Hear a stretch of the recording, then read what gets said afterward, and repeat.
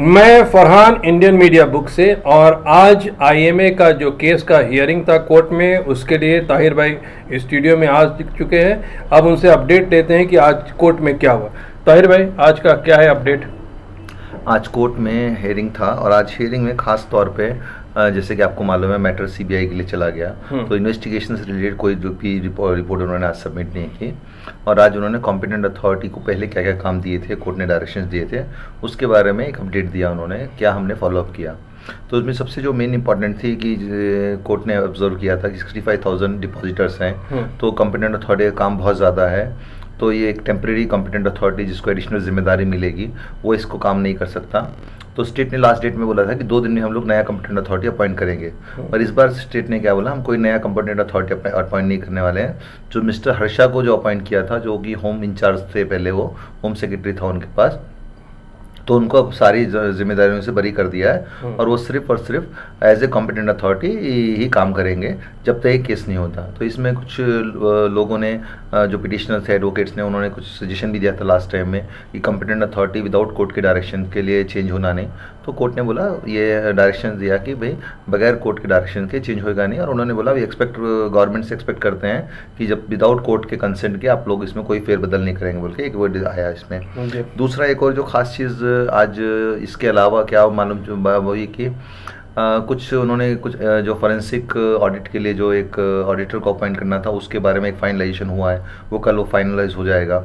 फिर और तीसरी जो चीज़ जो एक एडवोकेट ने खास तौर पे सबमिट किया कि जो डुप्लीकेट गोल्ड्स मिले हैं वो डुप्लीकेट हैं या ओरिजिनल हैं लोगों को किसी को मालूम नहीं हम्म। तो हाई कोर्ट ने इसके बारे में बोला कि अब ये इन्वेस्टिगेशन जो है ये सीबीआई के पास चले चलेगी और जो भी इन्वेस्टिगेशन से रिलेटेड डेट है हम्म। वो डिटेल्स हैं वो पूरी सोलह सितंबर को डिटेल्स इसको मिलेगी जी। तो ये कुछ चंद बातों में इसलिए डेट नेक्स्ट सोलह सितंबर को हुआ। और आज कुछ ज़्यादा कुछ खास इन्फॉर्मेशन एस आई टी ने कंपेटेंट अथॉरिटी ने भी सबमिट नहीं किया और कोर्ट ने भी ज़्यादा उसमें कुछ ज़्यादा पूछने या कुछ नहीं था। हम्म। सिर्फ़ एक फॉलोअप था और फॉलोअप किसके बेसिस के लिए था कि कंपेटेंट अथॉरिटी नहीं अपॉइंट हो रही है या नहीं हो रही है तो उसका एक क्लैरिटी हो गया। अब जो कंपेटेंट अथॉरिटी है वही कंटिन्यू करेगी और वो विदाउट चार्ज के सिर्फ़ और सिर्फ़ आई एम ए के कंपेटेंट अथॉरिटी की तरह काम करेगी ताकि वो एक अच्छे ढंग से अपनी ड्यूटी को परफॉर्म कर सके। ठीक है। ये जो थोड़ा स्लो प्रोसेस लग रहा है इसका एक रीज़न ये भी है कि एसआईटी को हटाया गया और सीबीआई को लाया गया।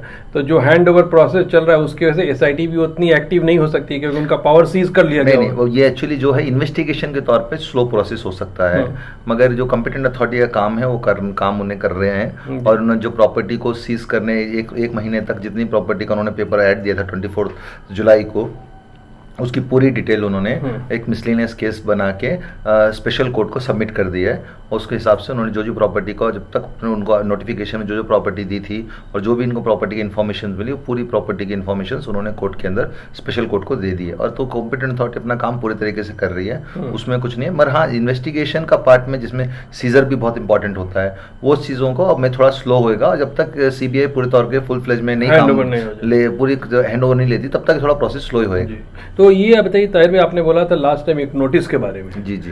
तो वो नोटिस का क्या हुआ? अभी तो उस नोटिस आई नहीं ना? जी अब तक कोई ऐसा नोटिस आया नहीं जिसमें कंपनी ने थोड़ी लोगों को डिपॉजिटर्स को अपने क्लेम को डालने के लिए बोला है। तो इसलिए इसमें आज जो इन्फॉर्मेशन दी उसने कंपिटेंट अथॉरिटी ने एफिडेविट के ज़रिए उसमें क्या बताया गया हम्म। कि वो एक ऑनलाइन पोर्टल भी डेवलप कर रहे हैं जिसमें कि जितने भी डिपॉजिटर्स हैं ऑनलाइन भी अपने क्लेम को सबमिट कर सकते हैं। अच्छा। तो अब तक ये फॉर्म हुआ। मुझे क्या लगता है जब जब तक ये ये पूरा ऑनलाइन का प्रोसेस पूरा हो जाएगा हम्म। तब ये लोग नोटिस रिलीज़ करेंगे। ओके।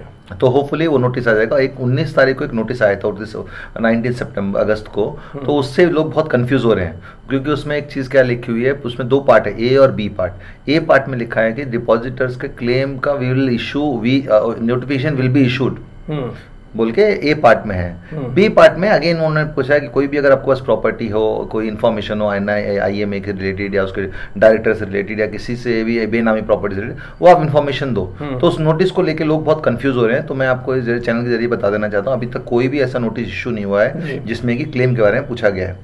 और एक फॉर्म भी एक जो चल रहा था और किसी पर्टिकुलर ऑर्गेनाइजेशन की तरफ़ से हम्म। जो कि बहुत सोशल मीडिया में फ्लोट हो रहा था और लोग बहुत कंफ्यूज हो रहे थे उस फॉर्म की वजह से तो ऑर्गेनाइजेशन के जो जिम्मेदार थे आज वो मुझे कोर्ट में मिले तो मैंने उनसे स्पेसिफिकली पूछा कि आपने ये फॉर्म को इशू किया है? तो उन्होंने बोला हमने ऐसा कोई फॉर्म इशू नहीं किया है हम्म। क्योंकि कंपिटेंट अथॉरिटी ने कोई भी फॉर्म अब तक कोई भी कॉल फॉर नहीं किया है हम्म। तो हम भी कोई ऐसा फॉर्म नहीं इशू किया। और जो लोग हमारे पुराने किसी और ऑर्गेनाइजेशन कुछ और कंपनी से रिलेटेड फ्रॉड के फॉर्म को सर्कुलेट करके लोगों को मिसगाइड कर रहे हैं और उनकी तरफ़ से कुछ नहीं है ऐसा। तो अभी कोई फॉर्म इशू नहीं हुआ है? अगर होगा तो आप हमको बताएँगे कोई भी फॉर्म इशू होगा तो कोई प्राइवेट फॉर्म कोई के पीछे मत जाइए आप। जो भी फॉर्म होगा जो भी डायरेक्शन है जो भी डिटेल्स है हम्म। आप खुद अपने आप से जाके कंपिटेंट अथॉरिटी को देंगे वही ऑथेंटिक होगी उसी हम्म। में आपको इन्फॉर्मेशन मिलेगी वही आपका प्रॉपर क्लेम होगा ठीक है जैसे आपने एक चीज़ बताया कि ये जो ऑनलाइन होने वाला है क्लेम का अगर ये ऑनलाइन हो गया तो इसमें एक चीज़ मैं देख रहा हूँ कि जो बाहर रहते हैं बैंगलोर से बाहर है उनके लिए बहुत फ़ायदा हो जाएगा जी एक तो ये बहुत बड़ा इशू है कि बाहर वालों को। हाँ। तो जो ऑनलाइन वो सबके लिए एक्सेस हो जाएगा और बाहर वाले क्या पोस्ट के ज़रिए भी भेज सकते हैं। हम्म, उनको आने की ज़रूरत नहीं पोस्ट से नहीं तो उनके किसी फैमिली का रिलेटिव भी कोई जाके उस क्लेम को सबमिट कर सकता है। मगर ये बहुत इंपॉर्टेंट है क्लेम जिसने भी अब पुलिस कंप्लेन जिन्होंने की है तो सोचना नहीं कि वो सिर्फ़ कंप्लेन की हद तक था। हम्म। और उस वक्त माहौल ऐसा था कि लोग सब चाहते थे कंप्लेन करना तो पुलिस किसी को मना नहीं कर रही थी। जी। इसके लिए पुलिस ने उन लोगों के दिल को बहलाने के लिए वो उन्होंने एक कंप्लेंट ले ली। मगर वो उस कंप्लेंट से कुछ होने वाला नहीं है। आप कंपिटेंट अथॉरिटी को जो अपना क्लेम देंगे वही कंपिटेंट अथॉरिटी आपको पैसा देगी। तो वो उसी वक्त करेंगे जब वहाँ गवर्नमेंट से फॉर्म मिले। जब नोटिस वो issue होगा, उसका जो भी जो उनकी गाइडलाइंस होगी उसके ऊपर ठीक है तो अभी के लिए क्या मैसेज है? लास्ट मैसेज आपका। देखिए मैं जो क्योंकि मैंने लास्ट टाइम में एक वीडियो में अपना नंबर दे दिया था उसके बाद से मेरे पास को ऐसे इतने सारे फ़ोन आने लगे कि मैं कोई भी काम नहीं कर पा रहा हूँ। हम्म। और लोग वही सवाल करते हैं कि हाँ हमारे को पैसा कब मिलेगा हम्म। और पैसा मिलेगा या नहीं मिलेगा तो मैं दो चीज़ क्लियर कर लेता हूँ देखो पैसा आप लोगों को 100 परसेंट कॉम्पिटेंट अथॉरिटी के प्रोसेस से 30 टू 40 परसेंट पैसा आपको मिलने की पूरी पूरी गारंटी है हम्म। हो सकता है उसमें थोड़ा वक्त लग सकता है पार्ट जो प्रॉपर्टी लिक्विड होके उसमें थोड़ा वक्त लग सकता है मगर पैसा आपको हंड्रेड परसेंट मिलेगा जी। सेकेंड चीज़ अगर हमें पैसा मिलने की उम्मीद नहीं रहती तो पर्टिकुलरली मैं अपना टाइम वेस्ट नहीं करता था इसमें। अगर मैं टाइम इसमें लगा रहा हूँ तो मैं मेरे को कुछ उम्मीद है कि इसमें प्रॉपर तरीके से पैसा मिलेगा। हम्म। तो आप बिल्कुल भी परेशान मत आपको पैसा मिलेगा। रही बात जो मैंने आप, आपको पहले भी बताया था वीडियो के ज़रिए कि जो मैं विक्योरस लाइबिलिटी का केस करने वाला हूँ तो मैं आपको एक बता देना चाहता हूँ मैं विक्योरस लाइबिलिटी का पूरा स्टेप शुरू कर दिया है मैंने। हम्म। और जो नेक्स्ट डेट हाईकोर्ट की सोलह तारीख को जो नेक्स्ट डेट है इनशाला उस डेट में हमारा केस भी फ़ाइल हो जाएगा उससे पहले। हम्म। और उस दिन उस विक्योरस लाइबिलिटी का केस भी हेयरिंग के लिए इनशाला वो रहेगा कोर्ट के सामने। तो बात यह है कि अगर कोई भी अपडेट आता है, जो ऑथेंटिक अपडेट होगा, ताहिर भाई, इंशाल्लाह डेफिनेटली हमारे तक पहुंचाते रहेंगे और हम अपने चैनल के ज़रिए आप तक पहुंचाते रहेंगे। तो आप लोगों से गुजारिश है कि बेकार की चीज़ों में न्यूज़ में ना जाएँ और ऑथेंटिक न्यूज़ के ऊपर भरोसा कीजिए। और आखिरी वक्त तक हम आपको ये न्यूज़ आईएमए का देते रहेंगे क्योंकि बहुत मदद हमको मिलती है ताहिर भाई से तो वो न्यूज़ आप तक आती रहेगी। तो ताहिर भाई को भी तंग मत कीजिए क्योंकि उनको बहुत काम रहता है। इंशाल्लाह अपडेट हम हमेशा आपको टाइम पे देते रहेंगे। Thank you thank you Tahir भाई।